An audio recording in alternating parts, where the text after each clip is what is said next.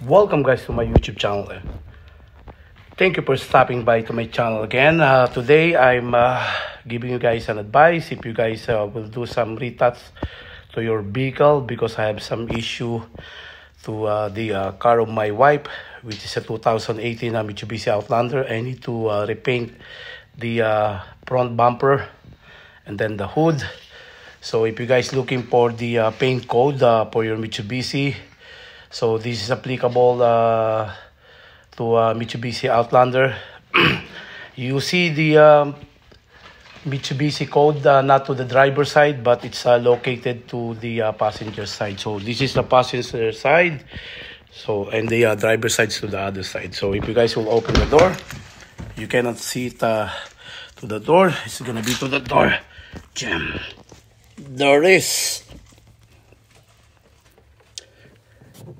So as you see, I don't know if you guys are able to see it.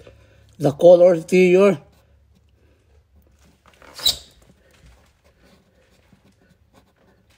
It's right there. If you see this mark, that's gonna be your color code for your vehicle. Okay. So you guys see, that's the door jamb. The side door for the passenger side.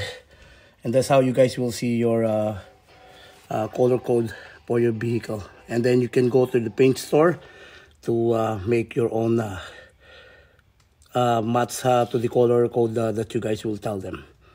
I hope you guys uh, keep watching my YouTube channel. Don't forget to like and subscribe.